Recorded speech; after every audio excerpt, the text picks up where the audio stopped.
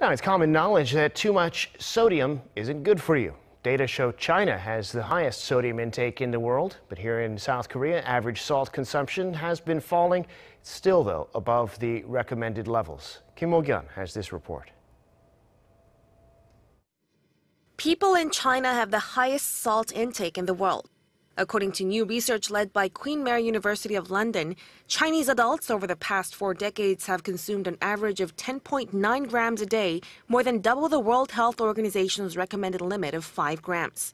This is because Chinese foods, especially those dishes from Sichuan province, are known for their spicy and strong flavors, which come from salty seasonings and spices.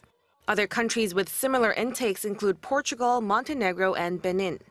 As for South Korea, Daily sodium intake has been decreasing over the past decade, but the most recent figure, which is from 2017, showed that the average intake per person was still 3,478 milligrams per day, which is similar to the US and some European countries. That figure is far above the WHO's recommended level of 2,000 milligrams per day. Traditionally, a complete Korean table includes kimchi and stews, which both contain large amounts of salt. And according to research done by Kyungpook National University, one of the most famous Korean dishes, bibimbap, which is a bowl that contains a mixture of rice, seasonal vegetables, and hot chili paste, had the highest sodium content of any Korean dish, with around 1,050 milligrams of sodium per serving. Fermented bean paste stew and soft tofu stew also contained a lot of salt.